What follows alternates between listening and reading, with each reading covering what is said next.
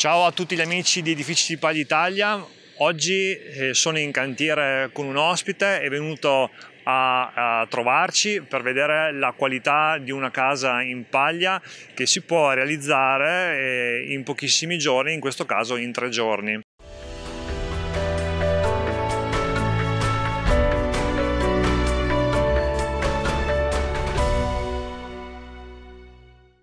Presentiamo subito il nostro ospite, con chi siamo in compagnia? Siamo in compagnia di Guido Alberti.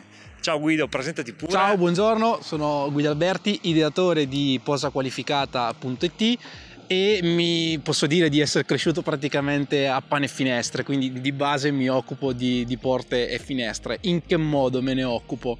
Ho iniziato tutto all'interno della mia azienda di famiglia, quindi lavorando all'interno dell'azienda di famiglia, fino a quando un bel giorno ho capito di aver messo su un metodo che consentisse ai nostri clienti di ottenere i risultati aspettati, desiderati in funzione delle loro esigenze e eh, da un po' di tempo ho creato una rete di consulenti posaqualificata.it su tutto il territorio nazionale. E che cosa facciamo con la nostra rete attraverso i nostri consulenti? siamo, mettiamo nelle condizioni i nostri clienti di vivere meglio la loro casa grazie alle nuove, mm, alle nuove finestre. Perché? Perché immagino voi tramite Nicola sappiate benissimo quanto sia importante il comfort all'interno di un'abilitazione. Beh, ovviamente quel comfort passa anche tramite le finestre. Quindi ti ringrazio Nicola per avermi invitato su un tuo, su un tuo cantiere e uh, complimenti davvero per tutto quello che fai. Grazie mille. Io ne approfitto perché oggi tu sei qui per scorcarti una testimonianza eh, di perché è così importante eh, progettare il foro finestra in una casa così performante come eh, la casa in paglia. Cioè ti volevo chiedere quali sono quegli elementi che un committente eh, deve richiedere al suo serramentista.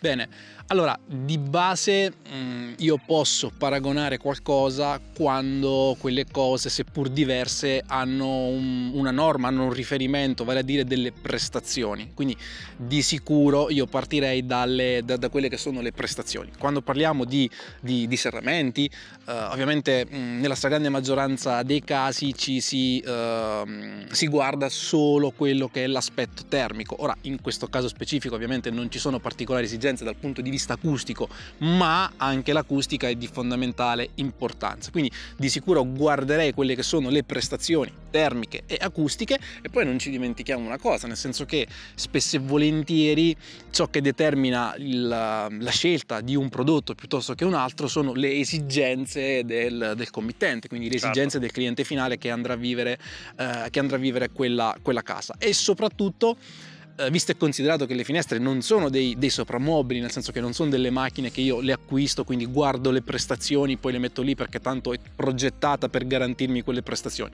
I serramenti sono un qualcosa che vanno posati, che vanno posti in opera. Quindi eh, è vero che le prestazioni sono importanti, ma è altrettanto vero che c'è una componente che spesso e volentieri viene sottovalutata, comunque non considerata, che è quella della posa in opera. Perché? Perché io prendo una finestra, quella finestra in laboratorio viene certificata da un un ente terzo con determinate prestazioni, poi devo fare in modo che quella finestra all'interno della muratura o comunque in questo caso all'interno del telaio, se parliamo di una casa in se parliamo di una casa in, in, paglia come in questo caso, debba garantirmi le medesime prestazioni. E lì entra in gioco la progettazione, che è un po' la stessa cosa che fa Nicola per ovviamente una casa nel suo complesso, nello specifico sul foro finestra. Dopodiché, ovviamente, tra la progettazione e la messa in opera ci sono di mezzo delle, delle maestranze, quindi delle mani, e fare in modo che tutto quello che è stato progettato e verificato a monte poi venga realizzato in opera in cantiere. Quindi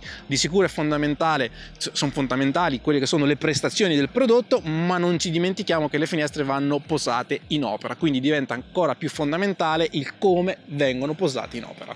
Perciò quando il consiglio è per un committente che si vuole avvicinare a un progetto di questo tipo, cioè una casa ad alte prestazioni naturale, quando eh, va poi a scegliere il committente le finestre, l'indicatore non è solamente il prezzo, ma deve essere un po' eh, eh, il contesto che si sviluppa questo progetto, il progetto appunto del foro finestra. Perciò bisogna porre molta attenzione alla, ai valori del, del, ser, del serramento, ma non solo agli aspetti tecnici, e soprattutto alla posa in opera perché la posa in opera è molto determinante poi sul risultato anche dell'abitazione che andiamo a progettare e a costruire. E ricordo che quando si va a progettare una casa di questo tipo, prima di tutto, prima di iniziare il progetto, si, si va a, a definire quali serramenti poi andrò a mettere. E sulla base del modello di serramento che andrò a mettere poi vado a progettare tutta la casa. Perciò finché non ho le specifiche tecniche del serramento non si parte. Dal punto di vista progettuale di un foro finestra, di una porta finestra, di un serramento, quali sono gli elementi progettuali che sono importanti e che un committente che decide di, fare questa avventura deve tenerne, deve tenere conto? Beh, di sicuro mh, mm, noi una cosa che facciamo attraverso i nostri consulenti sempre più spesso è una validazione termica di quello che è il nodo, quindi attraverso un software andiamo a fare delle simulazioni agli elementi finiti che ci consentono di capire o di comunque di valutare quello che accadrà nel tempo su quel giunto di posa. Perché? Perché eh, una delle problematiche sempre più ricorrenti all'interno di abitazioni, soprattutto abitazioni molto prestazionali dal punto di vista termico, è ovviamente il problema della, della condensa all'interno dei giunti, così come spesso e volentieri la formazione di, eh, di muffa. Perché? Perché più l'involucro è prestante, più l'involucro è performante e più di conseguenza se ci sono anche delle piccole problematiche, ovviamente queste problematiche vengono, vengono fuori. Quindi di sicuro eh, chiedere maggiori informazioni su come sarà eseguita la posa in opera e ovviamente aiutarsi attraverso dei disegni, degli elaborati, attraverso degli elaborati che poi vanno validati e quindi verificati in maniera tale che si possa fare una simulazione di quello che accadrà per scongiurare problemi di condensazione interstiziale piuttosto che eventuali problematiche di muffe che per quanto insomma possa sembrare una cosa assurda anche in costruzioni di recente, eh, fatte di recente e eh, molto prestazionali dal punto di vista dell'isolamento spesso e volentieri è un problema problema reale. Quindi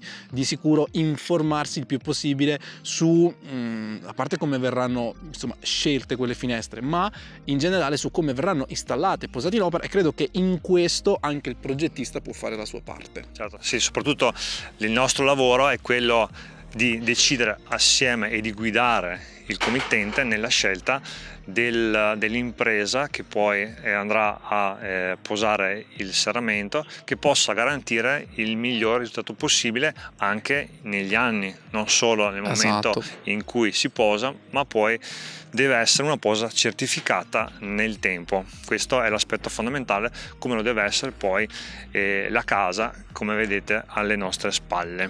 Esatto. Ok Guido, penso che per oggi abbiamo un po' definito quali sono gli argomenti, gli aspetti che un committente deve eh, tenere conto se vuoi un po' eh, lasciarci le tue coordinate geografiche.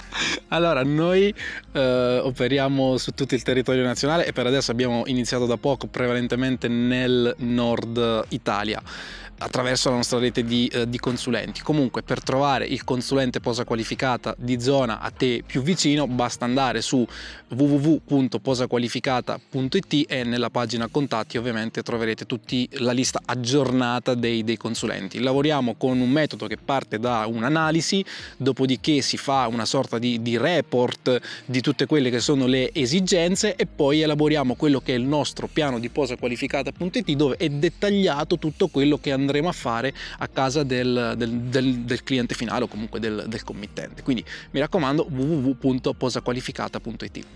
Ok, grazie mille per tutte le informazioni che hai potuto dare in questa puntata.